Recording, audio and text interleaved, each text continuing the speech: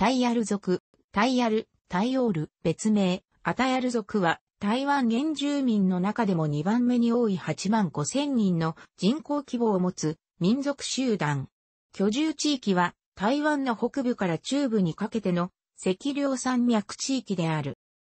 タイヤル語は固有に文字を持たないため、その表記にはカタカナやローマ字を用いる。日常的にはタイヤル語、北京語、日本語が混用される。若い世代は北京語に寛容な反面、タイヤル語に不自由な人が多く、年配者と直接会話できないことが多かった。近年は原住民文化を見直そうとする機運が全国的に高まっており、その流れを受けて、小学校などでのタイアル語の学習も始まっている。交渉伝承に基づくワニミズムがあり、樹木や岩石などが現在でも神格化されている。日本統治時代の公民化教育では、神道が布教されたが、現在では鳥居や石道路など神社の遺構が残されているほどであり、信者はほとんど見られない。第二次世界大戦後、日本やアメリカ合衆国から宣教師が村々に入り、キリスト教が一般化した。かつての首狩り、デクサの習慣、武者事件などによって勇猛な民族として知られる。赤と白を基調とした民族衣装を身にまとっていたが、現在では祭礼の時や観光地などで観光客向けに着られる旅である。また男性は、額と顎、女性は両方に入れ墨を施していたが、日本統治時代に禁止され、根絶された。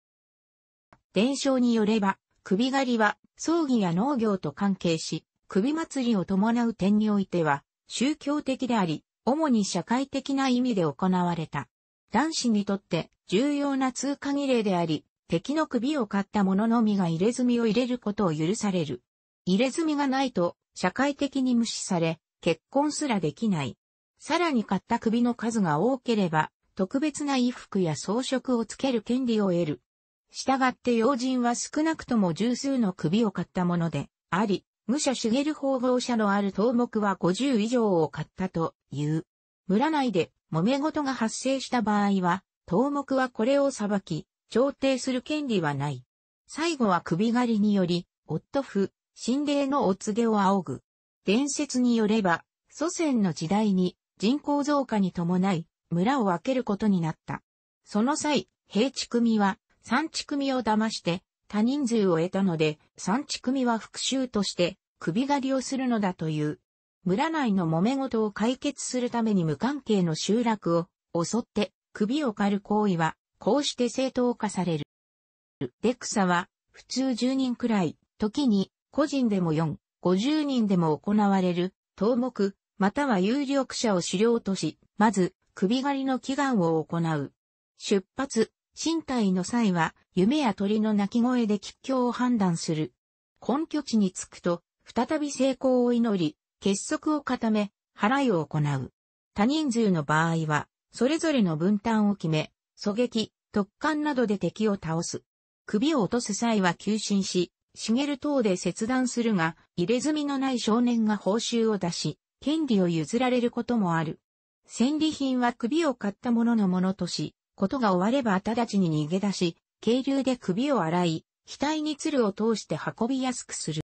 下走中は手術のタブーが課される。すなわち、縁談、狩猟、農耕、ロビの受け渡しは禁じられる。紛争の解決のための首狩りでは、対立する両人、または両派は相互交通を禁じられる。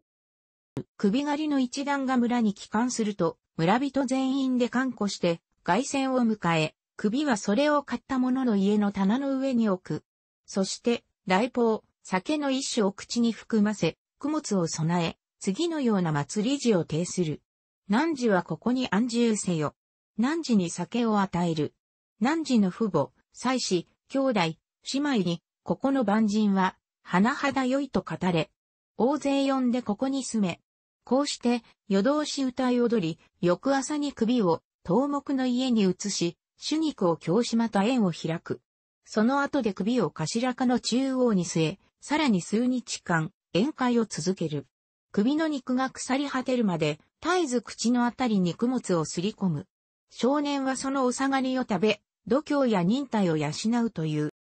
首狩りに失敗した時は、夜の闇に紛れて密かに帰る。不吉を払い、次の満月を経ねば再び首狩りには出ない。失敗の原因は、留守中の村内でタブーを犯した者がいたからとされ、これに該当するとされた者は賠償する。従来、山岳地域に住居している、タイヤル人は大抵山の中原における農耕に、容易な大地に家を建てるが、タロコの狭い地形によって、部落はまばらに分散している。また海抜や自然環境の相違のため、建築材料もそれぞれ違うが、木造や竹作りの家が一番多い。人間の住居のほか、穀物の納屋や家畜の小屋などもある。タイアル人は各家族の構成が中心なので、建物は大きくない。伝統的には焼き畑農業と狩猟によって自給自足的に生計を立てていたが、日本統治時代以降、近代的な農業生産方式の普及が進んだ。ただ、タイヤル族の居住地域は、ほとんどが急峻な山岳地域であり、水筒栽培など平地向けの農業は不向きである。そのため現在では、果実、茶、瓶ロなど商品作物の栽培が広く普及している。また、都市部の住民や外国人を対象とした観光業も一部の地域では重要な産業となっている。近年は歌手などの芸能人を多く輩出している。楽しくご覧になりましたら、購読と良いです。クリックしてください。